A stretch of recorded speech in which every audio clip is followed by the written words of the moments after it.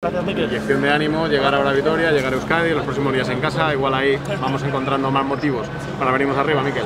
Sí, seguro, ¿no? Eh, ya sabéis que me motivo mucho cuando estoy sobre todo en casa, pero tienen que acompañar las fuerzas. Gracias, Miquel. Vale.